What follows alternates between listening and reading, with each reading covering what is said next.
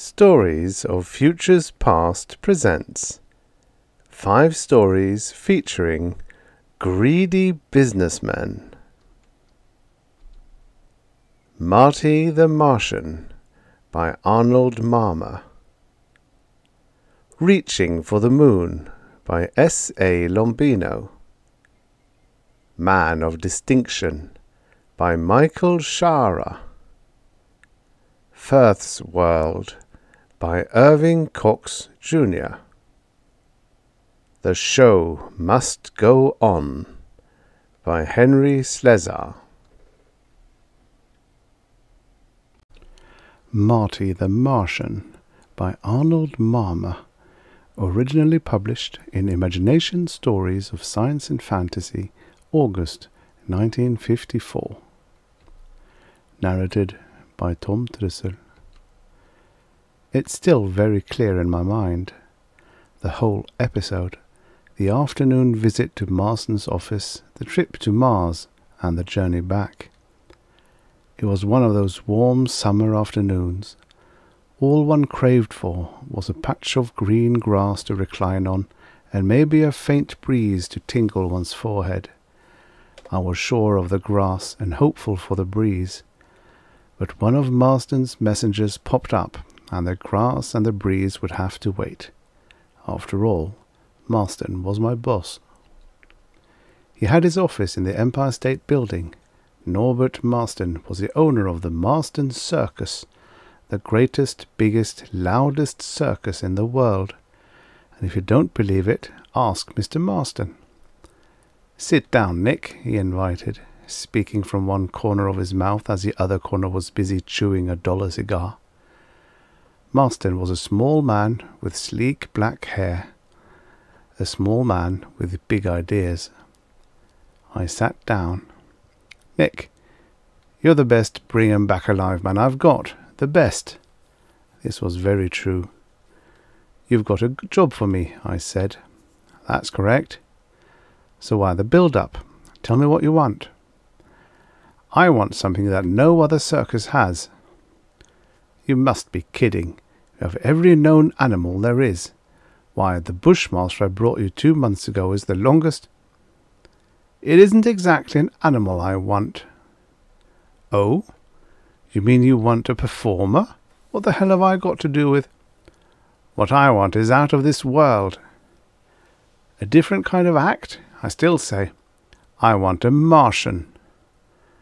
I was glad I didn't have a mirror in front of my face. I could imagine how foolish I looked with my mouth hanging open. I even have a name picked out for him, Marston persisted. Marty, the Martian. What do you think of that? I stood up slowly. Let me know when you've recovered. Marston came round the desk. Sit down. Now listen to me. Did you ever hear of a man named Hendrik Ritter? No. The greatest scientist in the world. He's been working for me for over a year. I hired him to do one particular job for me to concoct a fuel that will get a spaceship to Mars and back. Well, it's done. Did you ever hear of a man named Sam Young? Same answer as before. He's a designer for airships, the best in the business. He's finished a job for me. And, Nick, it's already built. And I've got Joe Roan working for me. I've heard of him, I said. The greatest pilot in the world, Marston said. The greatest this, the greatest that, and for what? Why, the ship probably won't get off the ground. Marston chewed furiously on his cigar. But what if it does get off the ground? What if it does get to Mars? All right, so what? How do you know there's life on Mars? There is. I hired the greatest. Oh no, I groaned. I believe you, I believe you. So now we're on Mars. You capture a Martian and bring him back. What if he doesn't care to be captured? What do I pay you for? I thought this out, then said, To capture Martians. Exactly. You wouldn't settle for a moon maiden, would you? I've heard they're cute and sexy. A Martian, He was very adamant. I'll have the greatest attraction in the world, Nick.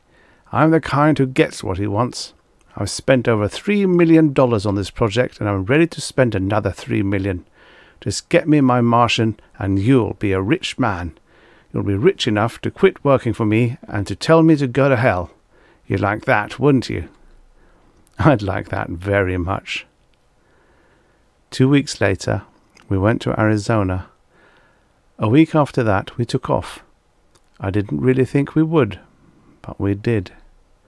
Just me and Joe Roan, two men in a spaceship. A huge metal tube hurtling through the longest and blackest of nights. Joe Roan was a good looking chap. Good looking, young, and excited. He was the first to pilot a ship to Mars. He was looking ahead to the glory that awaited him. We landed on Mars. We put on helmets that Ritter and Young had made for us. We stepped down the metal ladder. They were there, waiting for us. I'd rather have faced a bushmaster or a rhino. They stood on three legs. They had globe bellies, tiny heads, and no necks. They were of a colour I'd never seen before. They had two arms with two hands attached to each arm. I suppose they were hands. They were more like claws. I stood frozen solid. Joe Roan screamed and turned to run back up the ladder. A beam flashed, and Joe fell forward, silent and very dead. After that, it was all a blank. When I came to, I was strapped down by metal clasps on a long board made of some kind of marble. I was alone for some time. I don't remember how long it was before one of them appeared. He stood by my side, looking down at me. His eyes were purple. There were no whites. You have come a long way, he said. You you speak English? We used a 64V machine on you. We learned your language, your thoughts, your name. We know about Norbert Marston. A very enterprising man, it seems. W- what are you going to do with me? We haven't decided yet.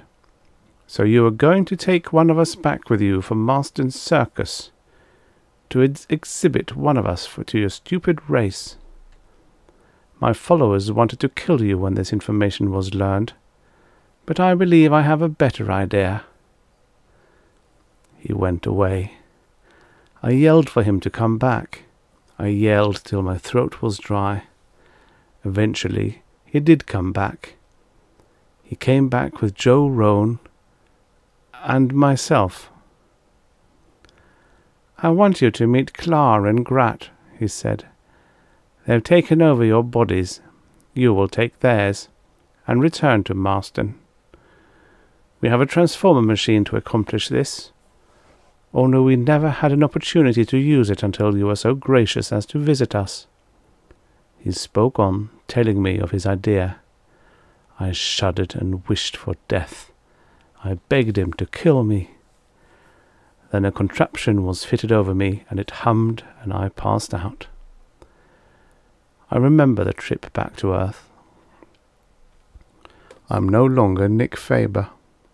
I'm Marty the Martian. What a cute title Marston has hung on me. I've got a nice home, and I get plenty to eat. Only my home is a cage, and it's made of glass. People come from all over the world just to see me and Marston has been to see me every day. He chews on his big cigar, and there's a smile on his face a yard wide. I tried to talk to my keepers, but all I can manage is some crazy kind of gibberish. I also see Clara and Grat, but they're only there when Marston is around. They're keeping very close to him. My being transformed into a Martian was just part of it. Clara and Grat were going to carry out the rest of it. On one dark night, and very soon. Clara, Grat, and Marston were going to disappear. Maybe I was the greatest attraction on earth. But Norbert Marston was going to be the greatest attraction on Mars. The end.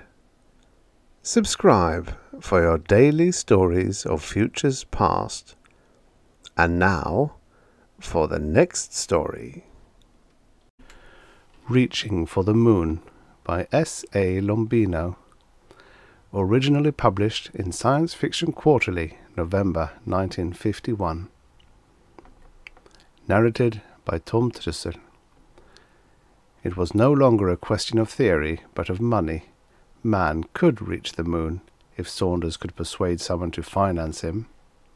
The laboratory was brightly lit, and four men in business suits surrounded the large table. They stared down at the blueprints on the table, some scratching their heads, others rubbing their chins in speculation. The thin man, in grey tweeds, eyed them cautiously, his breath coming in short, anxious rushes. The big man at the head of the table adjusted his eyeglasses, his hand lingering on the rim for a second. Then he cleared his throat and said, It won't work, Dr. Saunders. The little man in grey tweeds darted impatient eyes at the man who had just spoken. Why won't it work? Why not? It can't be done, the big man stated simply. Maybe sometime in the future, but certainly not now. Saunders stretched a bony hand out from the cuff of his tweeds. It can be done, he said, slapping that hand on the table. It's all here. You've just seen it. You've studied it. Damn it, this isn't a fly-by-night affair. I worked on these plans for more than eight years. I know it will work. A man in blue serge shrugged and said, I'm afraid Bragg is right, Dr. Saunders. He tugged at his collar the fat hanging in loose folds around his neck. Saunders turned to eye the newcomer. You agree? he asked defiantly. Even after studying my work, you agree that my proposed rocket couldn't possibly reach the moon? It might, the man in blue serge admitted, but we can't speculate on a thing of this nature. After all, Dr. Saunders, there'll be money involved, and... Money, Saunders snorted in disgust. Is that all you're worried about? You're one of the richest men of earth, protested Mr. Peterson. How can you let money stand in the way of what may well be man's greatest achievement? Bragg spoke again, peering from behind the thick lenses of his eyeglasses. Peterson is right. This thing would cost millions, more than any of us would be willing to risk. We appreciate your considering us, but... Saunders cut in sharply. Did that go for all of you? Is Mr. Bragg speaking for all of you? A heavy silence crowded into the room. Saunders confronted Peterson again. He speaks for me, Peterson said. And you, Mr. Thorpe? Saunders asked. Yes, yes, I'm inclined to agree, a balding man in Glen Plaid announced. Mr. Slade, Saunders turned to a weasel-like man dressed in solemn black. Slade nodded, his face chalky white against the black of his garb. I've asked you four men because you are probably the richest men on earth. I've asked you because I thought perhaps you would see the significance of such a project. To reach the moon. Saunders' eyes gleamed with intense light. To reach the moon. And when we reach it, Peterson asked, then what? Unlimited space, Saunders answered with feeling. New worlds, worlds beyond the imagination of man, the moon is only the first step, the experimental step. From there, Mars, or Venus, or a new solar system. Bragg said, Rubbish. Even if this should work, I'm not at all convinced it will, but even if it should, what's on the moon for us? Bare crags and lonely craters, cold, bleak atmosphere, nothing. Nothing that would bring in money, true, Saunders said, but look at Copernicus and Galileo. Look at Pasteur and Edison and Curie. Look at, oh, I could go on all night. What these men contributed to mankind can never be measured in terms of gold or silver. Can't you see that? Who wants to go to the moon anyway? Thorpe asked, passing a hand over his bald head. We've got troubles of our own right here on Earth. Plenty to settle right here, man. Plenty. In a little while, perhaps, sometime in the future. Twenty, twenty-five years, but now unthinkable. We've been saying that too long, Saunders snapped. Now is the time, not twenty or twenty-five years from now, but right now. Science has given us the means. It's up to us to take the opportunity and use it. It couldn't be done profitably, Peterson said dryly. Profitably? Saunders said bitterly. Are your wars profitable? he suddenly shouted, bringing his bony fist crashing to the tabletop. Let's not get violent, Slade said. It was the first thing he'd said all night. Saunders somehow had the feeling that a corpse had spoken. Exactly, he said. Let's not get violent. Let's spend some of the money that's been buying munitions and lives. Instead of razing cities to the ground, let's go up into the skies. Let's spend that money for a project that's worthwhile. For once, forget the profit and think of the meaning to mankind. He paused, and his voice grew lower. We've been ravaged by too many wars, gentlemen. Can't we stop this useless butchery and devote our time and energy to something constructive? Can't we? I know my rocket will work. It's scientifically sound. I know, too, that I can get a crew of scientists and technicians to take it to the moon and back. All I need is the money and a little time, just a little time. There's a war going on, Saunders, Bragg reminded him. He had lit a cigar with a gold lighter and was sitting now, puffing leisurely, blowing smoke at the ceiling. I know, Saunders said. Two wars in the past thirty years, and now another one. But consider this a moment. A trip to the moon would probably end all hostilities on Earth.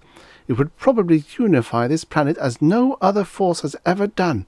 It will galvanize humanity into constructive action. It will open new vistas that cannot possibly admit plans for war. Peterson yawned openly. Hmm, I must say you're an idealist, Saunders. I doubt very much if anything short of a trip to the sun would unify the people of Earth. He chuckled a little at this, and looked to the others for approval. That's right, Bragg agreed. There'll always be wars, Saunders. The Earth is overpopulated, always will be. More reason to find new worlds, Saunders said tiredly. The only solution is war, Bragg insisted. Survival of the fittest. Forget your crazy ideas about new worlds. There's plenty of room right here for the people who win. And suppose we lose this time? Saunders asked. We'll never lose, Bragg said with certainty. Slade smiled a thin, wry smile. Exactly, Bragg, he said. As for me, whenever people are ready to fight, I'll be ready to supply them with the goods they'll need. In the meantime, the moon can wait. A year, maybe two, Saunders pleaded, and the universe will be open to us. Think of it! Think of it! Again his eyes lit with intense ardour. You think of it, Bragg said. I'm going home. The other men nodded and began bustling into their overcoats. Saunders stood by helplessly, feeling his last ounce of strength seep from his body. Nice of you to think of us, Thorpe said cheerily. Business is business, though. Yes, Saunders said quietly. If you can figure a way to put a warhead on that rocket of yours, Slade suggested. Not a bad idea, Bragg admitted. Well, Saunders, Peterson said, we've got to be running. No hard feelings, of course. In fact, I wish you lots of luck. He chuckled again and opened the door. Good night. The rest of the men filed out after him, nodding their farewells. Saunders watched them through the window of his laboratory, watched chauffeurs open the doors of long limousines, watched tail lights disappear into the blackness of the night, little red pinpoints emphasizing his failure. He walked back to the table and sat, cradling his head in his arms, leaning on the blueprints of his ship. All I needed was money, he thought, money and a little time. A year or two at the most. A year or two. Slowly he rose and brushed a thin hand over his wet eyes. There was work to be done, and tomorrow was another day. He walked to the door leading to his inner laboratory and paused. It was past midnight, and being a punctilious person, Saunders ripped the day's page from the calendar, exposing the new day to view. The new day was September 21st, the year 3951. he snapped off the lights and stepped quickly into the other room. The end. Subscribe for your daily stories of futures past. And now for the next story. Man of Distinction by Michael Shaara. Originally published in Galaxy Science Fiction, October 1956. Narrated by Tom Trussel. The remarkable distinction of Thatcher Blitt did not come to the attention of a bemused world until the late in the year 2180. Although Thatcher Blitt was, by the standards of his time, an extremely successful man financially, this was not considered real distinction. Unfortunately for Blitt, it never has been. The history books do not record the names of the most successful merchants of the past unless they happen by chance to have been connected with famous men of the time. Thus Croesus is remembered largely for his contributions to famous Romans and successful armies, and Haym Salomon, a similarly wealthy man, would have been long forgotten had he not also been a financial mainstay of the American Revolution and consorted with famous, if impoverished, statesmen.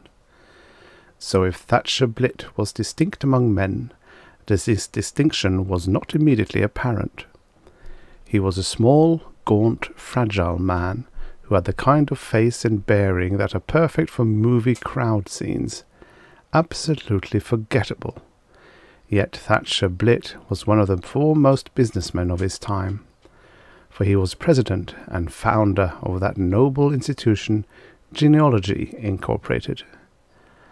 Thatcher Blitt was not yet twenty five when he made the discovery which was to make him among the richest men of his time. His discovery was, like all great ones, obvious yet profound. He observed that every person had a father. Carrying on with this thought, it followed inevitably that every father had a father, and so on. In fact, thought Blitt, when you considered the matter that rightly, everyone alive was a direct descendant of untold numbers of fathers, down through the ages, all descending one after another, father to son, and so backward, unquestionably, into the unrecognizable and perhaps simian fathers of the past. This thought, on the face of it not particularly profound, struck young Blitt like a blow. He saw that since each man had a father, and so on and so on, it ought to be possible to construct the genealogy of every person now alive. In short, it should be possible to trace your family back, father by father, to the beginning of time. And of course it was, for that was the era of the time scanner and with a time scanner, it would be possible to document your family tree with perfect accuracy. You could find out exactly from whom you had sprung. And so Thatcher Blitt made his fortune. He saw clearly at the beginning what most of us see only now, and he patented it.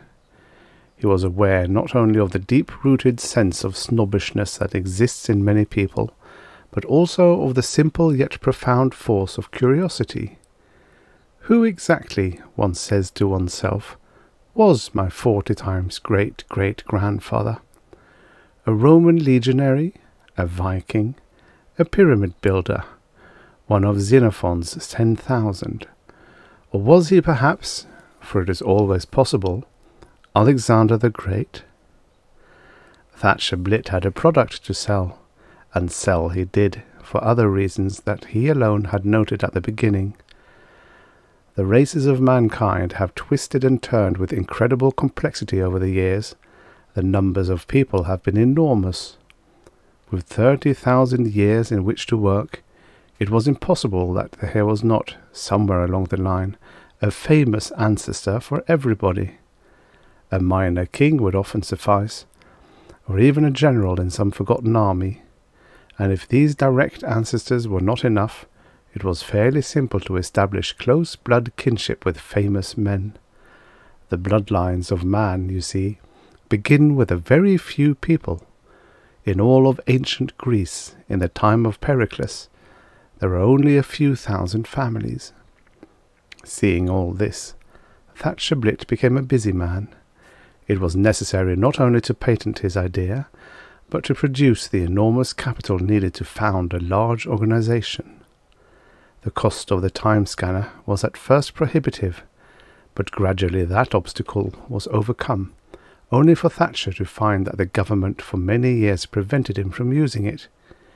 Yet Blitt was indomitable, and eventually, after years of heart-rending waiting, Genealogy Incorporated began operations. It was a tremendous success. Within months, the very name of the company and its torch slogan, an ancestor for everybody, became household words. There was but one immediate drawback. It soon became apparent that, without going back very far into the past, it was sometimes impossible to tell who was really the next father in line. The mothers were certain, but the fathers were something else again. This was a ponderable point. But Blitt refused to be discouraged. He set various electronic engineers to work on the impasse, and a solution was found. An ingenious device which tested blood electronically through the scanner, based on the different sine waves of the blood groups, saved the day. That invention was the last push Genealogy Incorporated was ever to need. It rolled on to become one of the richest and for a long while most exclusive corporations in the world. Yet it was still many years before Thatcher Blitt himself had time to rest. There were patent infringements to be fought, new developments in the labs to be watched, new ways to be found to make the long and arduous task of father tracing easier and more economical. Hence he was well past sixty when he at last had time to begin considering himself. He had become by this time a moderately offensive man, surrounded as he had been all these years by pomp and luxury, by impressive names and extraordinary family trees. He had succumbed at last. He became unbearably name conscious. He began by regrouping his friends according to their ancestries his infrequent parties were characterized by his almost parliamentarian system of seating. No doubt, all this had been in Thatcher Blitt to begin with. It may well be, in perhaps varying quantities in all of us, but it grew with him, prospered with him. Yet in all those years he never once inspected his own forebears. You may well ask, was he afraid? One answers, one does not know. But at any rate, the fact remains that Thatcher Blitt, at the age of 67, was one of the few rich men in the world who did not know who, who exactly their ancestors had been. And so at last we come to the day when Thatcher Blitt was sitting alone in his office, one languid hand draped vacantly over his brow, listening with deep satisfaction to the hum and click of the enormous operations which were going on in the building around him.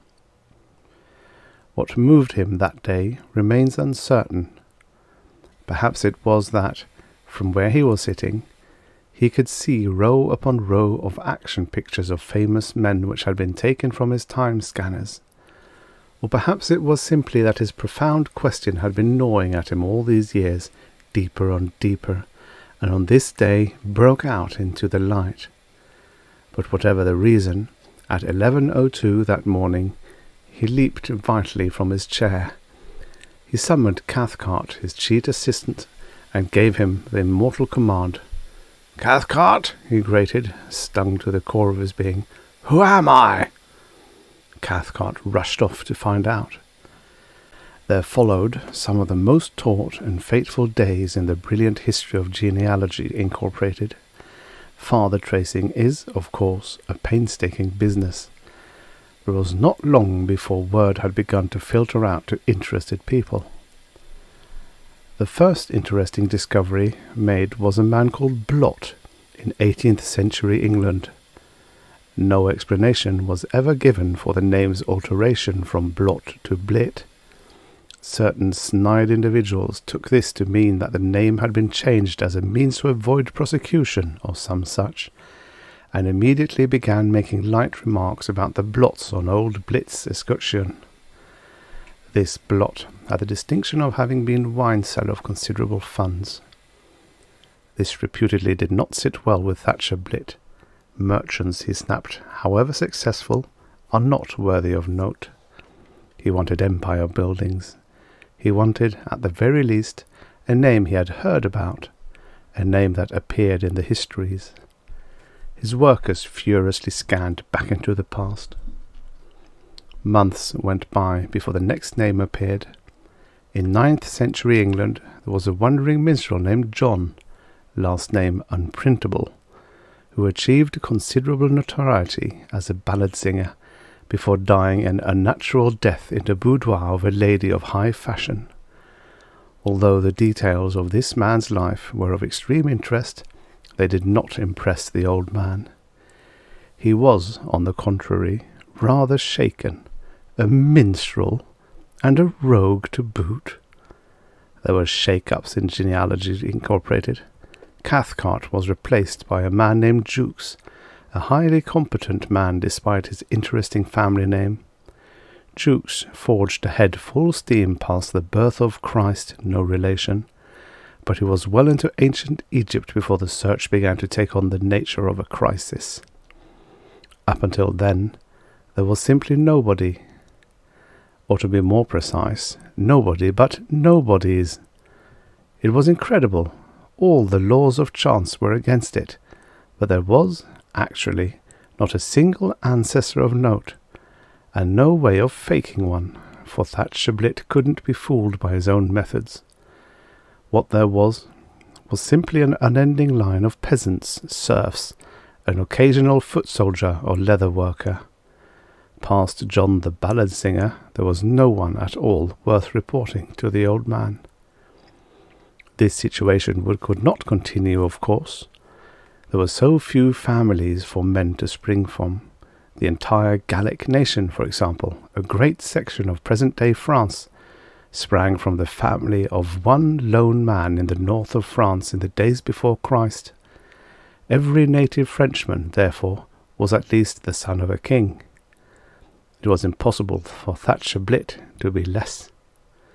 So the hunt went on from day to day past ancient Greece past Jarmo, past the wheel and metals and farming, and on even past all civilization, outward and backward into the cold primordial wastes of northern Germany.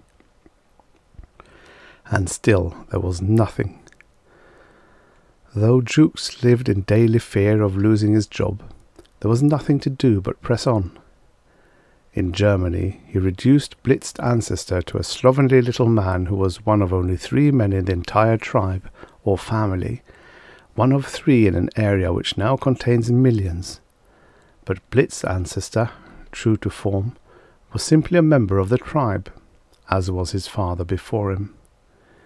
Yet onward it went, westward back into the French caves, southward into Spain, and across the unrecognizable Mediterranean into a verdant North Africa backward in time past even the Cro Magnons, and yet ever backward, thirty thousand years, thirty-five thousand, with old Blitt reduced now practically to gibbering and still never an exceptional forebear.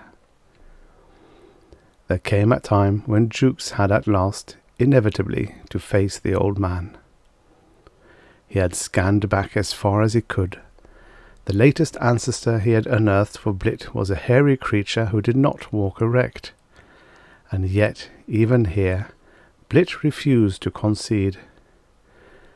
It may be, he howled. It must be that my ancestor was the first man to walk erect or light a fire, to do something. It was not until Jukes pointed out that all those things had been already examined and found hopeless that Blitt finally gave in. Blitt was a relative, of course, of the first man to stand erect, the man with the first human brain, but so was everybody else on the face of the earth. There was truly nowhere else to explore. What would be found now would be only the common history of mankind. Blitt retired to his chambers and refused to be seen. The story went the rounds, as such stories will, and it was then at last, after forty thousand years of insignificance, that the name of Blitt found everlasting distinction. The story was picked up, fully documented by psychologists and geneticists of the time, and inserted into textbooks as a profound commentary on the forces of heredity. The name of Thatcher Blitt in particular has become famous, has persisted until this day, for he is the only man yet discovered, or ever likely to be discovered, with this particular distinction. In forty thousand years of scanner recorded history, the bloodline of Blitt, or Blot, never once produced an exceptional man. The record is unsurpassed. The End. Subscribe for your daily stories of futures past. And now for the next story. Firth's World by Irving Cox Jr. Originally published in Worlds of If Science Fiction, May 1955. Narrated by Tom Trussel. His world was utopia inhabited only by wealthy, brilliant, creative, ambitious people. It was the ultimate in freedom, exempt from taxes, social problems, petty responsibilities. Let him go. It's quite safe to leave us. I want to talk to him. Sit over there, Chris, where you can be comfortable. A paradox, isn't it? You were taught we may never go back. Now I've authorized the building of the rocket. From your point of view, you were justified in trying to destroy it. I'm violating the regulations. You weren't. But time changes the shape of the truth, Chris. It isn't static. No one had the insight then to grasp the insanity of John Firth's dream. People hated Firth or envied him, but no one called him mad. John Firth was an industrialist yet far more than that too. Politician, scientist, financier, even an artist of sorts. There was nothing he couldn't do, and few things he didn't do superbly well. That accounts for his philosophy. He never understood his own superiority. He honestly believed that all men could achieve what he had, if they had set their minds to it. Lazy, incompetent fools, he would say. The world's full of them, and they elected a government of fools, taxing me to support the others. As billionaires go, John Firth was very young. Six months after world government became an established reality, Earthships began to explore the skies, and in less than a year, Mars, Venus, and the Earth had formed a planetary confederacy. A new feeling came to men when the burden of warfare was lifted from their minds. Men were free, free for the first time in centuries. Their full energies were channeled into invention, exploration, experiment. The earth was like a frontier town, booming, uproarious, lusty, dynamic, but with a social conscience, poverty and deprivation for none, and unlimited opportunity for all. For man, that abstract symbol of mass humanity, it was the best of all possible worlds, yet there were misfits, John Firth was one of them. We're coddling people, he said. We're teaching them to live on charity, on government handouts, and I'm expected to pay for it all. Cut them loose, let them sink or swim for themselves. If some of them don't survive, well, they won't, that's all. We'll be a stronger people if we would rid ourselves of the leeches. He was a man of the new age, stubbornly holding to ideas from the old. And then the stranger came to see him. We don't know who the stranger was or where he came from. A force of evil, perhaps, the symbol of Satan refurbished and streamlined to fit the concepts of the modern world. I've been reading your political pamphlets, Mr. Firth, the stranger said. You hold rather, rather fascinating views. Now that I'm suitably flattered, Firth answered, may I ask what particular form of handout you want? None. I've something for sale. The stranger took a pamphlet out of his pocket. But tell me this first. Do you honestly believe what you've written here? Every word of it. If I could find my sort of world anywhere in the universe, I'd pull up stakes in a minute and... You can create your own world, Mr. Firth. Do you suppose I haven't tried? In every election I back my candidates with all I have. Prestige, propaganda, money. It does no good. The fools prefer to be governed by other fools, like themselves. I didn't mean here, Mr. Firth. The stranger smiled as he lit a cigarette. You see, my friend, I have a world for sale, a brand new world. One of the asteroids? Firth laughed bitterly. I could have done that years ago. They're too close to the commercial orbits. How long would it be before one of our ships found the place? Then I'd be right back in the system again, and a laughing stock as well. This is a planetoid beyond Pluto. It'll be generations before any of our ships. A frozen world? No thanks. Only on the surface. It's a hollow sphere with a granite crust half a mile thick. Inside there's a suggestion of passageways and caverns, which may have been made artificially. Perhaps this was an outpost of a race which lived and died billions of years before our time. An archaeological gold mine. But science pays so little, Mr. Firth. I'm interested in cash, not prestige. Why should I pay you anything? You've told me where it is and what it is. I can find it for myself. The stranger laughed. I said beyond Pluto. That covers a lot of space, Mr. Firth. He paused for a moment. My price is the stock in your Martian mines. Convert the rest of your holdings into any form of wealth that seems convenient and usable. In your case, Mr. Firth, you can take it with you to your own world. Think of it. No taxes, no social problems, no unfortunate masses to prey on your conscience, no government but your own. That was the beginning of the dream. The seed of the idea grew in John Firth's mind until it overshadowed everything else.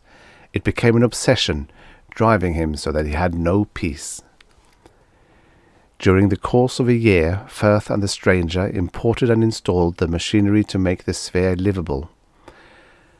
Hydroponic tanks, air machines, gravitators, electric generators, and an atomic power core. In the crust of the planetoid, they found enough fissionable material to keep Firth's world running for an eternity. They laid out the decorative landscaping, planned the living quarters, the laboratories, the amusement hall, and the university. It is interesting to speculate how much the stranger contributed to the scheme, and it is an ironic speculation, for as soon as the larger idea took shape in Firth's mind, his only logical course was to murder the stranger. Firth could allow no outsider to know of the planetoid.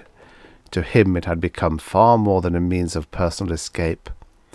It was to be an archive for the survival of John Firth's ideas, for the survival of civilization itself. John Firth believed that sincerely. Firth's world, that magnificent dream which was like a holy crusade, was founded on murder, deception, and greed. The reasoning of fanaticism engenders its own kind of ruthlessness. As soon as John Firth had disposed of the stranger, he began to select his colonists, men who, by his definition, were not fools. He had to make his choice very carefully. If he misjudged his candidate and his proposition was rejected, Firth had given away his secret.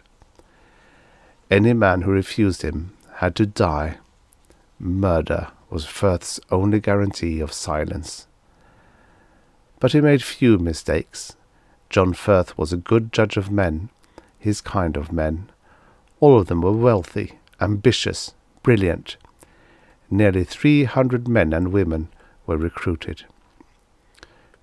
They came here to escape. The record tells us that, until we gag of the repetition. But to escape what?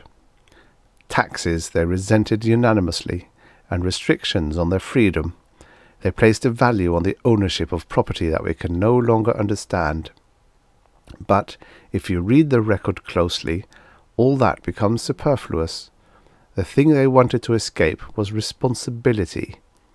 Responsibility to their fellow men. Physically, Firth's world was a paradise. It still is. Yet the dissolution began before the last colonist had arrived. Here they had assembled their wealth, in terms of machines, comforts, books, art treasures, amusements, laboratory equipment. They were entirely free from the burden of taxation. But somehow their wealth lost its meaning. They claimed they had not withdrawn from the world in order to hibernate and decay among their luxuries. They wanted freedom in order to create, to invent, to experiment as they pleased.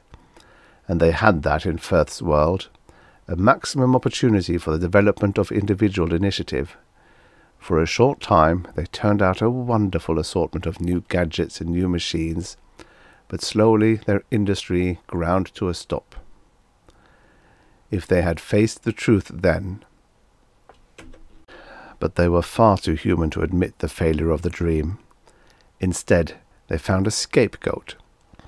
John Firth has left us a record of the conversation he had with Adam Burts. It is typical of their thinking at the time.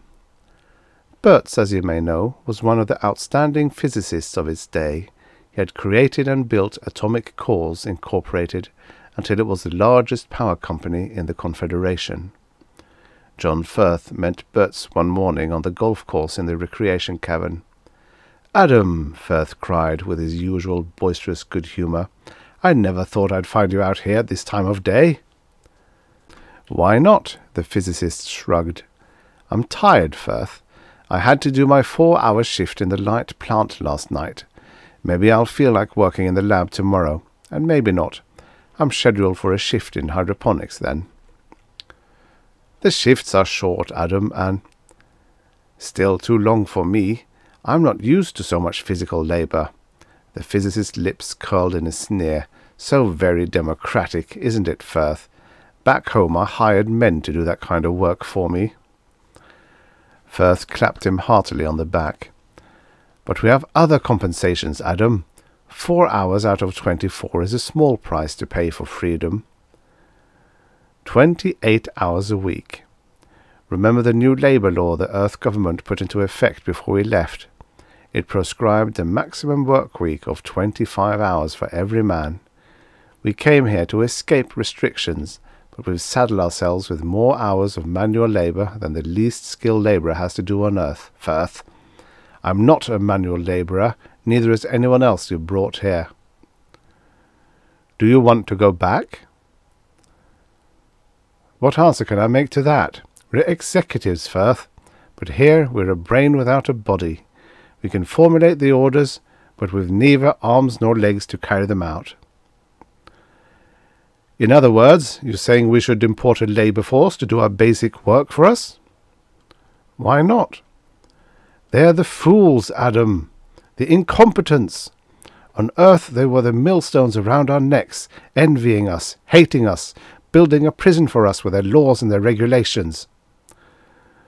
All very true, Adam, where the government is in their hands, but we could keep them under control.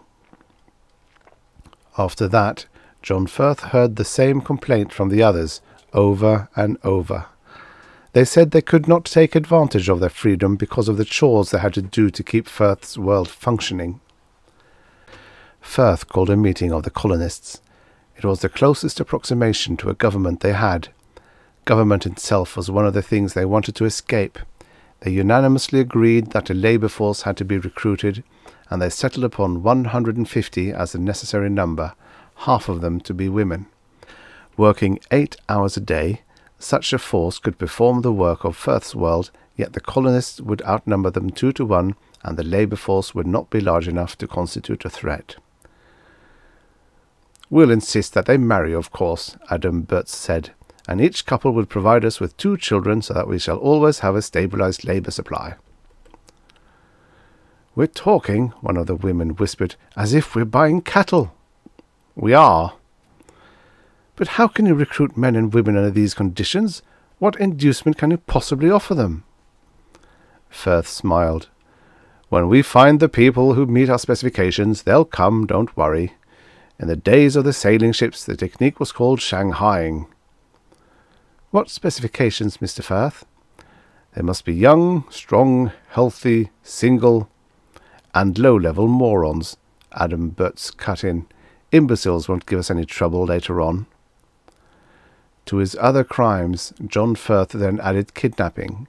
The end justified the means. He was creating a world, and that world would save civilization. I doubt that his conscience ever troubled him. Within two years, the second group of colonists was established in Firth's world. Apparently, they made an easy adjustment to their new environment. We have no record of complaints or protests. They were docile, obedient people. They took orders well. They liked to be told what to do. They needed very little supervision. The first colonists were entirely free then of any sort of work responsibility. For a while they went back to work in their laboratories or in the university, inventing, exploring, accumulating their store of knowledge. In imperceptible stages, however, their interest lagged. Their production came to a halt again. This time they had no excuse, no scapegoat. We can assume that some of them faced the truth squarely and honestly, yet they had chosen Firth's world and there was no way to turn back. We find only one actual hint of their despondency in a diary page written by an unknown woman. Carl stayed home again today. He had nearly finished the design for his machine, but he has no more enthusiasm to complete it. I know how he feels. I can't go on with my painting either. We have no purpose, no goal to achieve. We sit isolated in space, counting over the wealth of our talent and ability, but we can make no use of it. I wish I knew how many of the others think as I do, but I'm afraid to ask. The key to understanding them is that last sentence. Perhaps they all felt a disillusionment, but they had to pretend. Firth's world couldn't be at fault. If they were dissatisfied, it was because of a failure within themselves. At all costs, the flaw had to be hidden from their neighbours. Their first labour trouble was a welcome interlude in the creeping boredom. The docile Labour battalion suddenly discovered they were being overworked. Just what they could have done in Firth's world with shorter hours, no one knows. They staged a spotty, amateurish strike. Speakers made reference to the labour laws applicable on the earth and demanded better pay. To what end, it's hard for us to say. If the first colonists had turned over all their wealth, the workers would have had no more use for it. John Firth was unusually alarmed by the threatened strike. He reacted with excessive violence, and the other colonists followed his lead. Three of the leaders of the uprising were executed. Others were brutally whipped. The outlaw pit was built then. Thereafter, at the first hint of any dissatisfaction, workers were condemned to it. The violence taught the workers resentment. Silently, sullenly, they passed on their hatred to their children. The aristocracy created the revolution and nurtured it, for it would have made no real difference if they had surrendered entirely to the strikers' demand. The children of the first colonists made no pretense of using Firth's world to advance knowledge, invention, or art. They were hedonists, bred to luxury, supported by slaves. The slaves, for their part, felt no emotion but hatred from their parents they learnt that the aristocracy had violated the labour law. The children knew nothing about the law or the distant earth where it applied, but it was held in deep and sacred reverence. The laboratories and the university stood empty. Only the recreation cavern held any interest for the new aristocracy. A change took place among the slaves too. Their parents had been hand-picked morons but neither brilliant achievement nor the moronic mind is hereditary. Most of the workers' children had an average intelligence, one or two would have been classified as geniuses. To their hatred, the second generation joined intelligence, and Firth's world was ready to blow apart. They struck the light plant first. Sudden and unexpected violence surged through the dark, stone-walled corridors. John Firth led a band of men against the enemy, but his attack failed and the workers seized the atomic power core, the heart of our world. If they shut down the reactors, they would stifle not only our lights, but the gravitators and the air machines as well. They would kill us all. The workers knew that. They were willing to risk suicide. Every bargain encounter was on their side. It was John Firth who surrendered. Firth's world died then.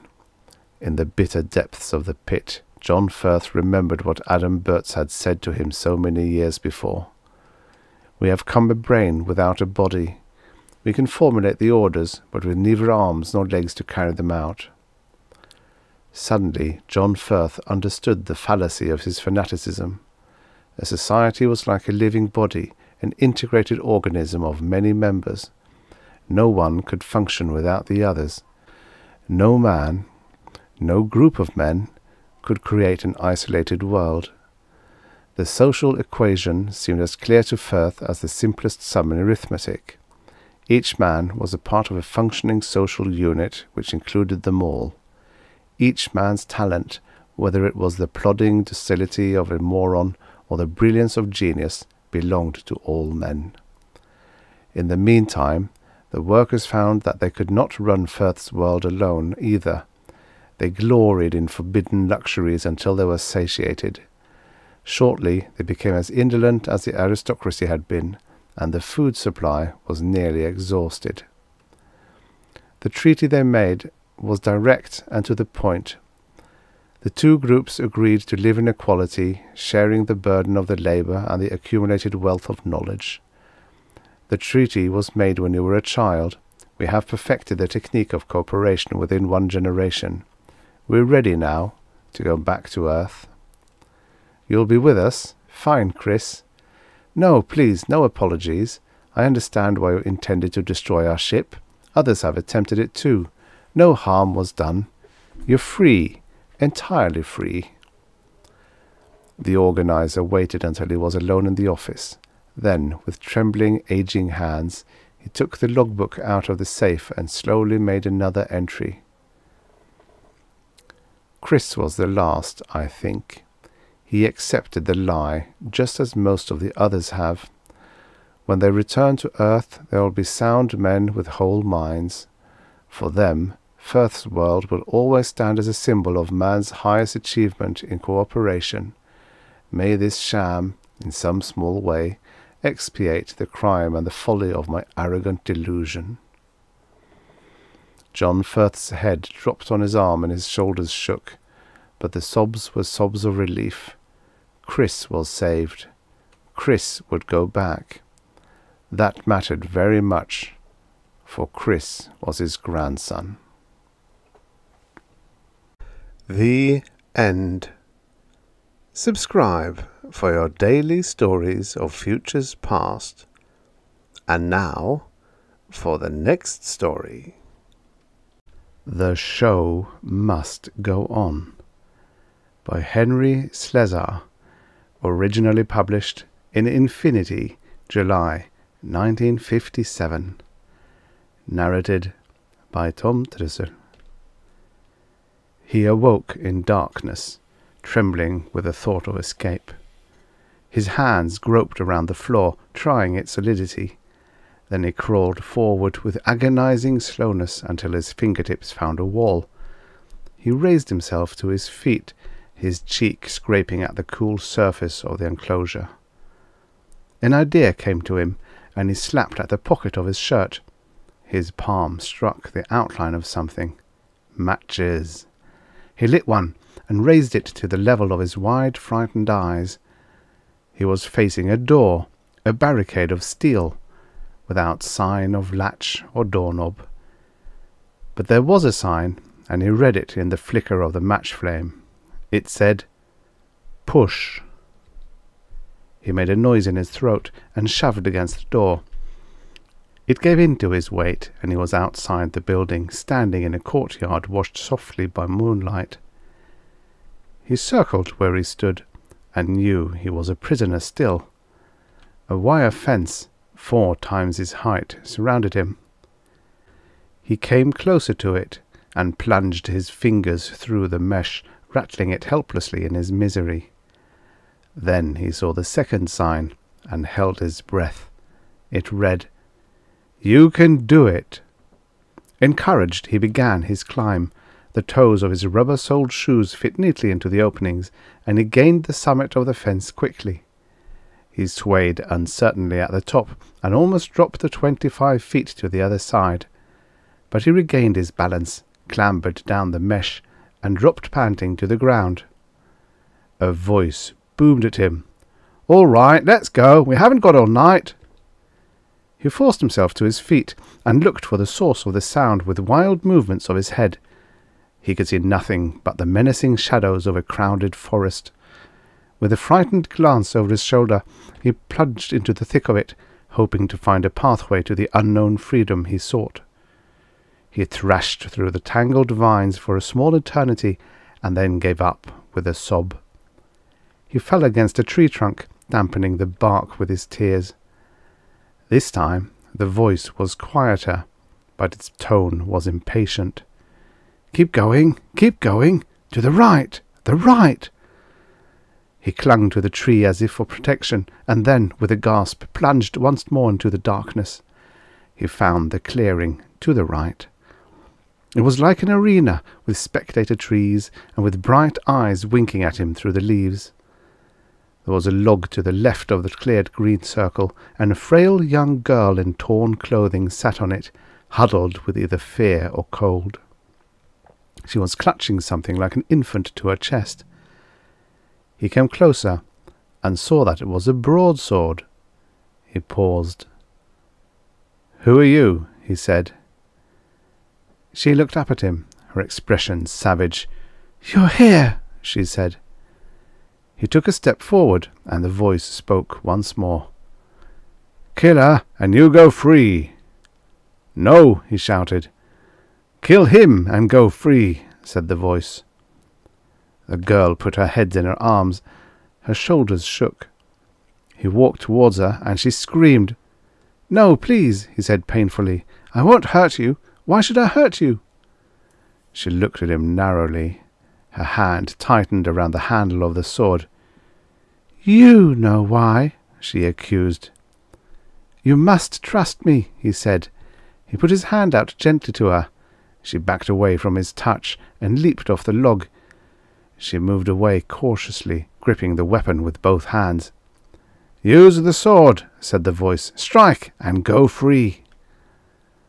She trembled and lifted the sword from the ground. The man whirled, eyes penetrating the forest for an escape route. He backed up and fell over a trailing root. Now, said the voice, strike! The girl moved toward him hypnotically. I hate you, I hate you, she moaned. She lifted the blade high, and the man lashed out with his foot as he towered over him.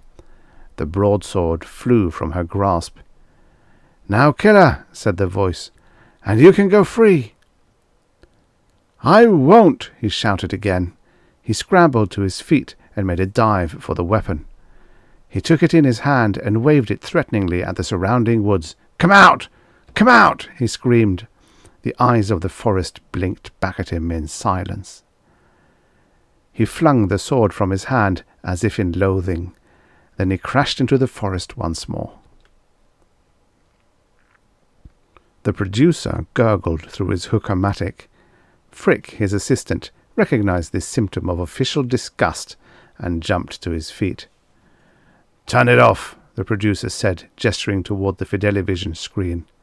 Frick turned it off. No, leave it on, the producer moaned, peeping at the white oblong through his chubby fingers. Let's see what Manford does in this pickle. Frick turned it on. He'll probably drop in the dinosaur film, he said. If he does, I get a new director, the producer answered in a rumbling voice. He's used that spot three times in the past month. The Fidelivision flashed. A screaming red title dripped bloodily across the screen. Man against dinosaur, it said. The producer's angry cry almost drowned out the horrific roar of the live prop brontosaurus that appeared. Meeting! Meeting! he cried. We're going to have a staff meeting right after the show. A live meeting? Frick gasped. A live one, the producer said. Everybody here, right here, in person. This is an emergency. Gosh, TD, Frick frowned disapprovingly. That's kind of rough, isn't it? I mean, a phone screen session would be a lot simpler. It'll take hours for Manford and the rest of them to get through the jam. I don't care, the producer said petulantly. This kind of bumbling inefficiency has gone far enough. It'll do him good to get crushed in the traffic for a change.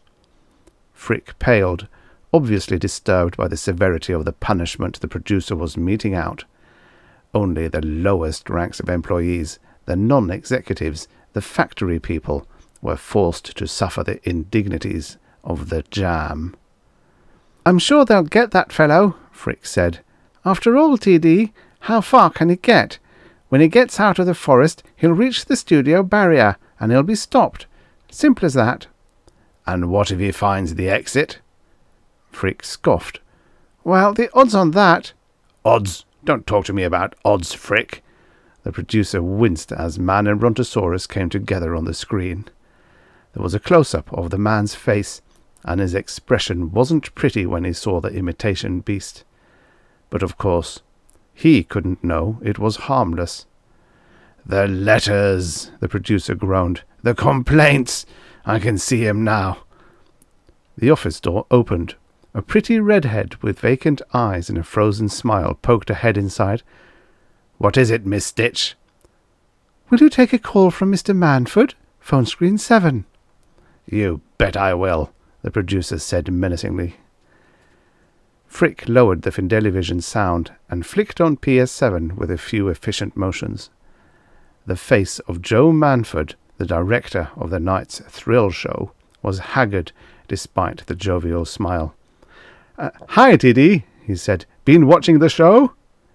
Yes, Joseph, the producer said gravely. Oh, the smile faded, but only for a moment. Well, nothing to worry about. Our boys will have that fellow rounded up in a few minutes. Can't imagine how that got fouled up. But that's the thrill show for you, full of surprises. Is that a fact? said the producer. He picked up the butt of his hook-o-matic and sipped smoke calmly. I presume this fellow was fully authorized before you put him on. Oh, yes, Manford said hastily. He passed the routine FCC physical and had the usual adrenaline and hypnomecalil dose. I mean, you saw the girl, didn't you? She was fine, wasn't she? He beamed.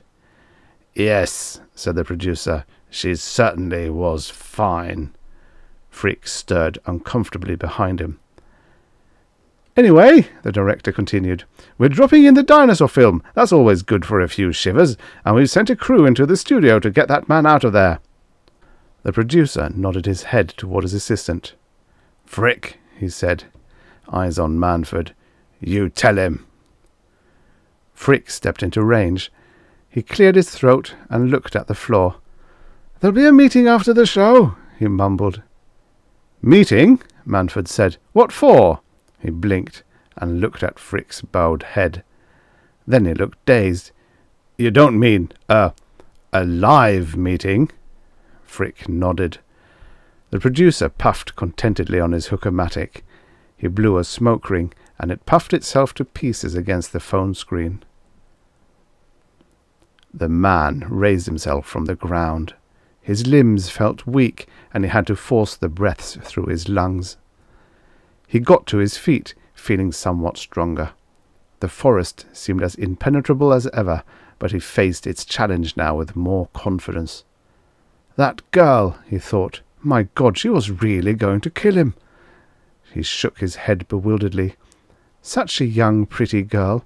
What had he done to her? What made her want to do it?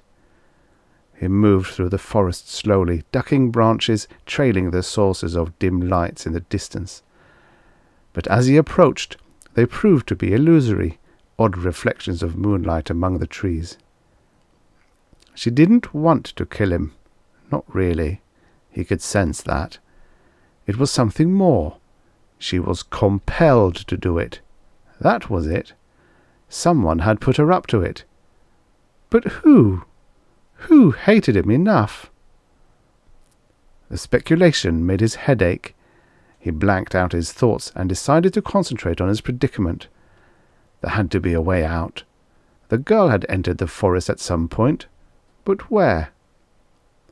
He heard the sound of voices, and he stopped breathing. Manford means business, one of them said. He's plenty worried. TD was watching tonight. The sponsors kick TD, TD kicks Manford, and Manford kicks us. Who do we kick? I don't know about you. I got an old dog home. Okay, let's separate and find this bird. Right. Hey, Lou, let's have some tracer lights. He concealed himself in the brush as a burst of light exploded over the treetops. He watched the men parade past, ordinary-looking men, executive types with white collars and knit ties and flannel suits. Strangely enough, they seemed quite at home in this wilderness. He waited until they passed his hiding place. Then he started on a nimble run in the direction from which they had come. The producer fitted himself snugly into executive position. Desk, swivel chair, and man welded into one solid, efficient unit. He sighed a comfortable sigh and glanced up at the wall clock. Ten thirty. The thrill show would be over in half an hour. The dinosaur film would wind it up neatly. He'd probably have some explaining to do to the sponsors tomorrow, but he was all prepared to give the usual popular demand argument. He regretted the live meeting he had called. It would be two hours at least before the staff ploughed through the traffic jam. That meant he couldn't leave the office until after one thirty. He looked at the hopeless tower of papers on his desk blotter. Most of them were letters, and his secretary had never quite gotten the hang of weeding out the chaff. Once he found a letter from an FBC vice president in the discard file. Since then he ordered all mail to his desk. He wished he could get a better secretary than Miss Stitch, but the shortage of A1 rated secretaries, A for attractiveness, 1 for efficiency, was acute. He skimmed through the top of the pile quickly. Dear Mr. Donnelly, certainly enjoyed Death in the Ring, one of the best thrill shows I've ever seen. Wonder if you would consider a football thriller I have in mind called Murder Kicks Off. Dear Mr. Donnelly, let's have more shows like Snake Pit. That mother and baby idea was the greatest. I really thought that woman would go nuts when she saw her kid with the cobra. A shocker all the way. Dear Mr. Donnelly, if Kiss of Death was your idea of entertainment, you ought to retire. Sort of sex schmaltz went out with television. Give us real gutsy stuff and never mind the mush. I'm only eleven years old, but I'll bet I could write a better scenario than that. I have this idea for a show called Dear Mr. Donnelly. The producer sighed again. He reached into his pill drawer and took an ulcer capsule. Then he went back to his correspondence. When the man entered his office, he didn't even glance up. That you, Frick? he said, eyes on a letter of praise from a Yonkers housewife. When the man didn't answer, the producer looked up. He gasped. Hey! he said. Shut up, the man said harshly. He moved swiftly towards the desk and lifted a bronze ashtray in a lightning motion. He raised the object threateningly over the fat man's head. Keep quiet, he said. What is this? The producer's voice quavered. Then he recognized the face. You're the one from the show! The man blinked. His face relaxed, and he lowered the impromptu weapon. I, I'm sorry. The producer came around the side of the desk. He took the ashtray from his hand and helped him into the interview chair. The man collapsed limply at his touch. How did you get here? the producer said. I don't know, the man mumbled. I found a door. Back there. He buried his chin on his chest. His clothes were shredded, and his hands were trembling. Just take it easy, the producer told him. He stabbed his finger on a desk button. The signal brought Frick into the office. What's up, TD? Then the assistant saw the man in the chair. My God, he whispered, swallowing hard. Gosh, I'm terribly sorry, TD. Never mind being sorry, the producer said gratingly. Let's just be thankful he found his way here instead of into the street. If he'd been picked up by the police. The assistant mopped his brow. That would have been terrible. They'd surely recognize him from the show if the FCC saw him in this condition. Yes, the producer said grimly. If they saw him in this condition, the medical office would slap an injunction on us so fast we'd all be out in the jam. Do you realize that? Frick blanched. I'll get Dr. Stark in here right away. We'll get him an antidote shot immediately. That girl, the man said. It's okay, fella, Frick said. You're okay now. Never mind him, said the producer. Get Spear in here, right away. Frick hurried out. The producer poured a slug of brandy into a cup and held it to the man's lips. He gulped it gratefully and then exploded a rasping cough. When the cough subsided, he buried his head on his chest again, breathing heavily. The producer studied the man's face. It was oddly familiar. Say, he said. He put his hand under the chin and lifted the face up. The eyes opened. Aren't you Jerry Spicer? The man stared blankly. The producer grunted. Huh. Guess you don't know who you are right now, fella. But you're spies are all right. Imagine that. TD shook his head. The great Spicer in a thrill show. He chuckled dryly. The doctor bustled into the office, a small cyclone trailing the nervous assistant behind him like a flurrying dust cloud. Roll up his sleeve, he told the producer commandingly. He removed the hypodermic spray gun from his bag and carefully filled it with a dozen cc's of the antidote. He dabbed the man's arm with a shred of cotton and pressed the spray against his flesh. Good thing I hung around tonight, the doctor grumbled. If this man ever got away in this condition. We know, we know, the producer said testily. Fix him up and cut the chatter. I saw that show, the doctor said. Somebody sure fouled up. Probably gave him an overdose. We'll get to that later, the producer promised. Just do your job, Doc. I'm through, Stark said crisply. Put him on that couch over there and raise his legs. He'll come to his senses in about ten minutes. I hope. Frick and the producer helped the man to the sofa. He sprawled on it full length, fingers trailing on the carpet. Do you know who he is? TD said. He's Jerry Spicer. Who? Spicer, the big TV star. You remember. The doctor halted in the process of clasping his bag and came over to the sofa. He looked at the man's relaxed face. By God, he said, you're right. Now what the hell is Spicer doing on a thrill show? The producer shrugged. I don't know. I haven't heard anything about him for the past eight or ten years. He must have had it tough, Frick said musingly. I mean, a big star like that on a program like this. What do you mean, a program like this? The producer looked displeased. If the staff had a nickel's worth of imagination, they would have played this up big. Gosh, said Frick, that's true. We could have used a credit card. I bet he wouldn't have permitted it, the doctor said. You know what Spicer thought of the thrill show. Yeah? The producer's face reddened. Well, we proved how wrong he was, didn't we? The public was just sick and tired of that namby-pamby stuff. There had to be a thrill show. Sponsors demanded it, Frick said loyally. And besides, TD added, if he doesn't like us, what the hell did he sign up for? The doctor pursed his lips. Maybe he was hungry. Frick said, He's still not coming round, Doc. He'd better, Stark said warningly. If the antidote doesn't work, it could mean a lot of trouble for the thrill show, Mr. Donnelly.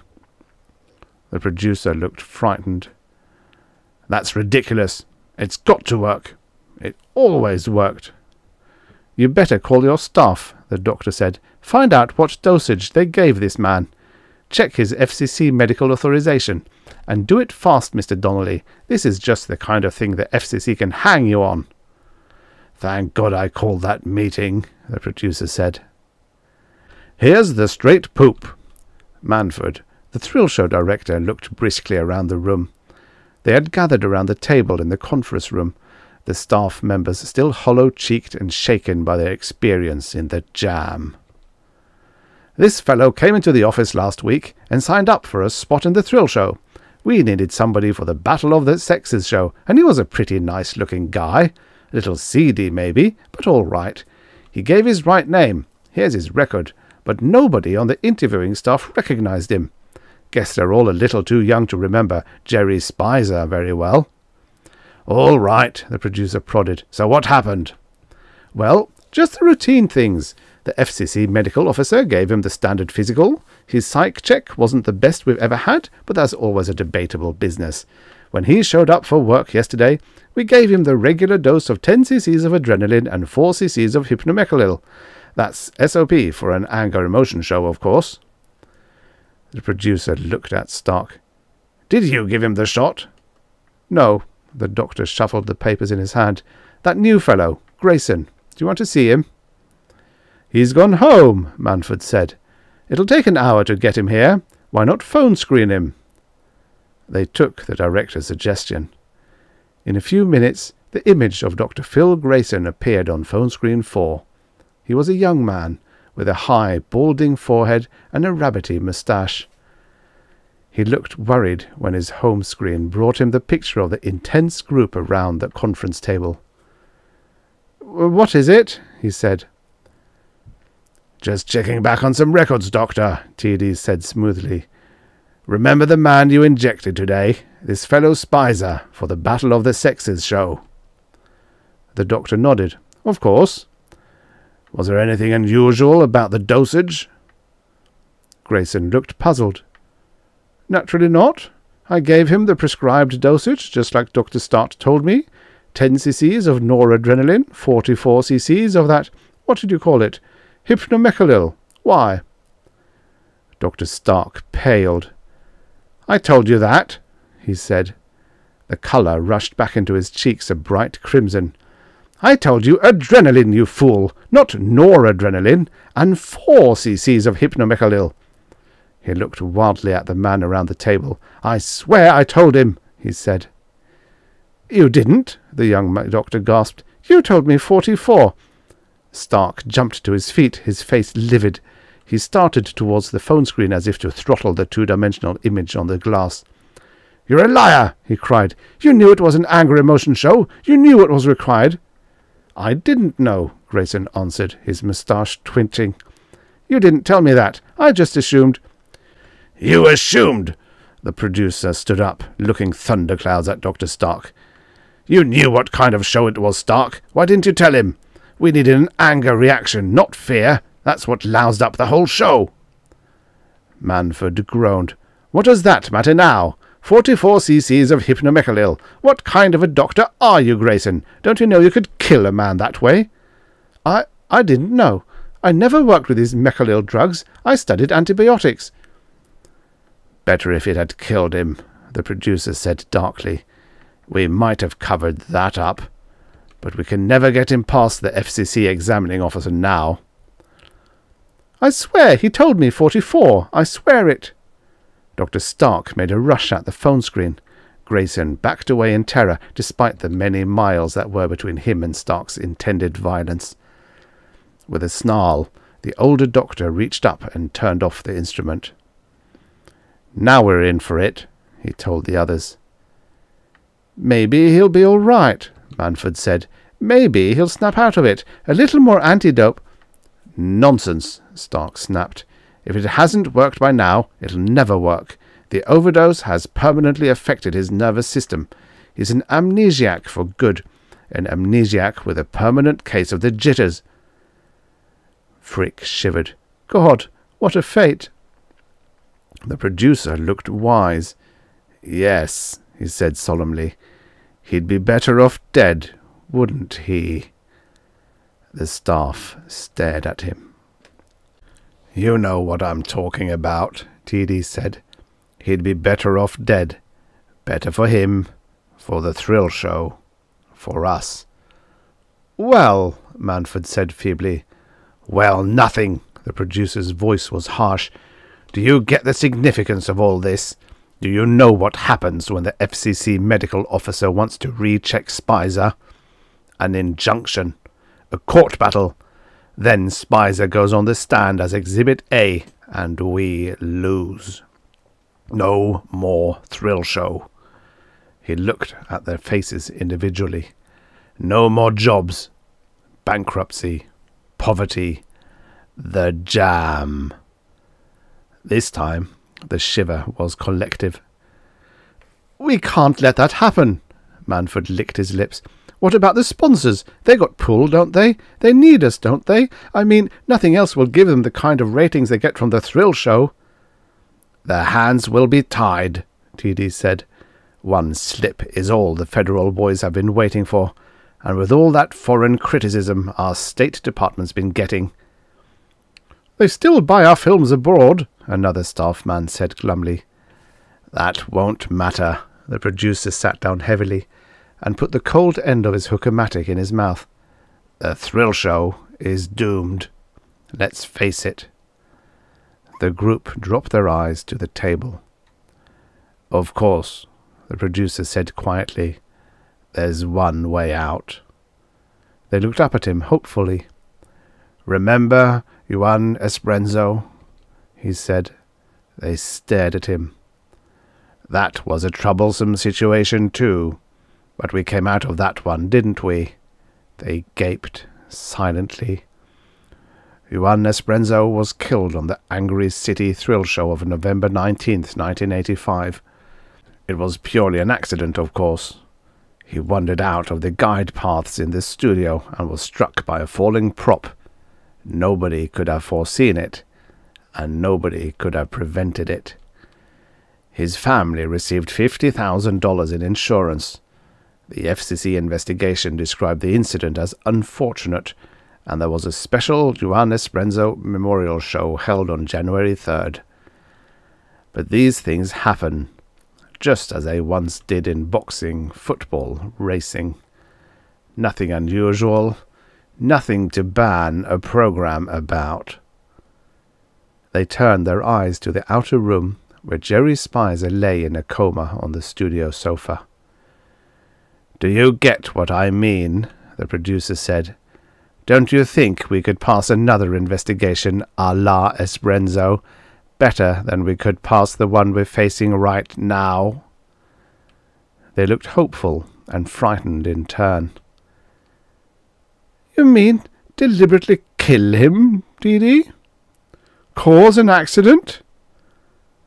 Kill him right on the program?